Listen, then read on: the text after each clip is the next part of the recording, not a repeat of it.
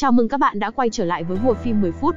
Nối tiếp series review các nhân vật hoạt hình 3D, thì hôm nay hãy cùng theo chân mình tìm hiểu về Lục Tuyết Kỳ, mỹ nhân tiên hiệp đời đầu các bạn nhé. Có thể nói đây là nhân vật gây tranh cãi rất nhiều, trong bộ siêu phẩm Chu Tiên Ba thời điểm vừa ra mắt, trả lời cho câu hỏi ai là nữ chính của bộ tiên hiệp này. Thì tác giả không trả lời rõ ràng mà chỉ nói là ở mỗi thời điểm khác nhau thì Trương Tiểu Phàm sẽ gắn bó với từng nữ nhân khác nhau, mà thôi.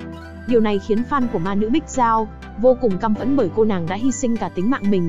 Tuy nhiên cách đây không lâu, tác giả đã đính chính rằng Lục Tuyết Kỳ là nữ chính duy nhất của bộ phim này. Tranh cãi vì thế mà được nổ ra một lần nữa. Có lẽ với hầu hết người xem thì sự hy sinh quá đỗi lớn lao của Bích Giao khiến người ta thương cảm. Tuy nhiên tác giả đã khẳng định rằng, trong tình yêu không phải cứ hy sinh thì sẽ được nhận lại. Và để làm rõ hơn quan điểm này thì mình thấy, nói về hy sinh thì Lục Tuyết Kỳ cũng không hề thua kém Bích Giao. Để hiểu rõ hơn về mỹ nữ này, phải kể đến chuyện rất nhiều năm về trước. Lục Tuyết Kỳ là đệ tử xuất sắc của Thanh Vân Môn. Nàng gặp gỡ Trương Tiểu Phàm tại đại hội thất mạch do tông môn tổ chức. Sau khi đạt được thành tích cao trong cuộc thi này, cô nàng cùng những đệ tử khác được phái xuống núi lịch luyện. Tại thời điểm ma giáo dục dịch muốn lật đổ chính phái, Lục Tuyết Kỳ có mặt ở vạn bức khổ quật của Không Tăng Sơn. Trong khi chính ma giao chiến, Trương Tiểu Phàm bị rơi xuống Tử Linh Uyên. Lúc bấy giờ, cô nàng không tiếc nguy hiểm nhảy xuống cứu hắn, Thời gian rất nhanh trôi qua, sau khi hội tụ tại bờ biển vô tình, Lục Tuyết Kỳ đã cùng Trương Tiểu Phàm vượt qua sinh tử khi đối đầu với ma giáo. Thế nhưng chớ trêu thay, sau trận chiến cuối cùng tại Thanh Vân Môn, Trương Tiểu Phàm bị nghi ngờ cấu kết ma giáo, cùng với sự hy sinh của Bích Giao, hắn đã bật âm vô tín sau trận chiến. Thời gian trôi qua, 10 năm sau Tiểu Phàm gia nhập ma giáo Quỷ Vương trở thành quỷ lệ, biệt danh huyết công tử khát máu. Còn Tuyết Kỳ mỗi khi nhớ đến Tiểu Phàm, đều múa kiếm trên vọng nguyệt đài để giải tỏa nỗi nhớ, Thời nàng khổ luyện, tu vi tiến triển có thể nói là một ngày ngàn dặm, tiềm lực đuổi kịp Thanh Diệp, tổ sư thành người đứng đầu thế hệ trẻ dưới trướng Thanh Vân môn. Tuy nhiên khi họ gặp lại đã đứng ở hai trường phái đối lập. Tình thế loạn lạc khiến nhiều lần Lục Tuyết Kỳ phải chĩa kiếm về phía đối phương. Nhưng trải qua nhiều sóng gió, khi chứng kiến quỷ lệ rất gần với bờ vực sinh tử, nàng lại quyết định nghe theo con tim mình mà ra tay cứu giúp.